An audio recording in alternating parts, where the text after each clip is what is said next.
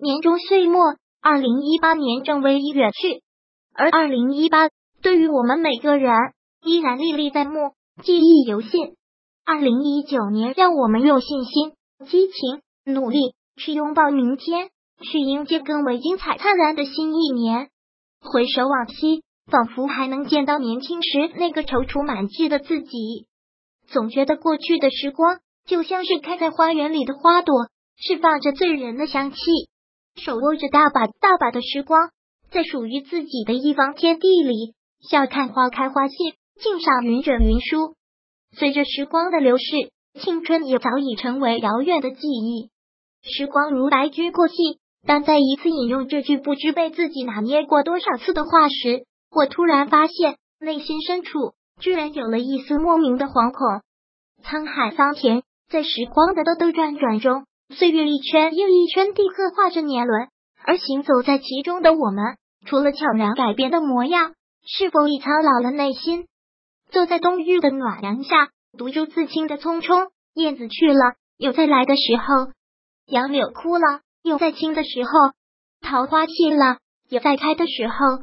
流连于文字的世界里，厌倦。沉思，正如先生文中所言，过去的日子就像是针尖上的一滴水，滴在大海里，滴在时间的河流里，没有声音，也没有影子。往昔如风，再回眸，那匆匆而逝的三百六十五个日子，犹如帆船行走在平静的水面，翻起阵阵的涟漪。当日历似的只剩下薄薄几页，蓦然惊觉，自己就站在了年末巷尾。那些在生命里度过的日日夜夜，那些曾经拥有过的幸福、快乐、迷茫、痛楚，都如历史云烟随风而去。走过时光里每一个匆匆的脚步，将随着岁月的流逝，逐渐消失在时间的河流里，也留在我们记忆的海洋里。那些曾经的一切，也终将成为我们生活中的磨练和经历。在我们即将演上二零一八书卷的时候。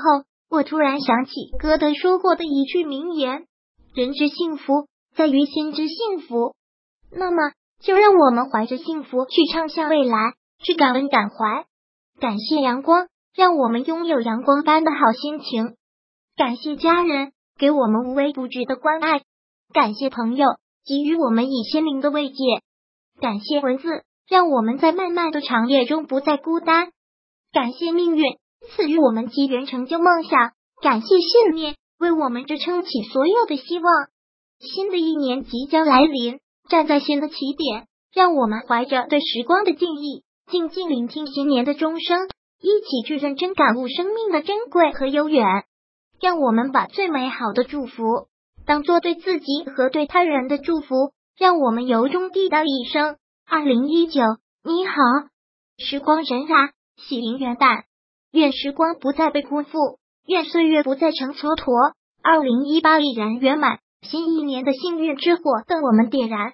岁月如梭，情谊依然。二零一九，愿我们携手并肩，感恩生活，感谢朋友，带上梦想，在新的起点起航。祝大家元旦快乐，新年大吉，诸事如意，工作顺利。回首二零一八，有喜悦，有失落，也有收获。人在世上，总有太多事情要扛，为家人，为朋友，人总是这样，有太多事情要背，很难为自己而活。很多人都是为家人活，为子女而活，这样也无可厚非，因为他们过得好，就是自己过得好。谢谢自己，在最孤单的时候，勇敢一个人赶路。有些路只能一个人走，有些话不必说给每个人听。不着急，静静熬，用所有的寂寞时光为自己鼓掌，带着微笑接住了每一个挑战。岁月赋予了我淡然从容，历经岁月风雨，现在的我更学会了宁静致远。每一步走的踏实，每一天活得自在，心境越来越平和舒畅。这是时间回赠给我的财富。新一年比一年宁静，人一年比一年轻松。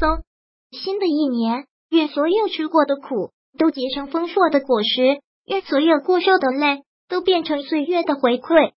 再见了，二零一八！如果喜欢本视频，请分享并订阅本频道，别忘了按赞了。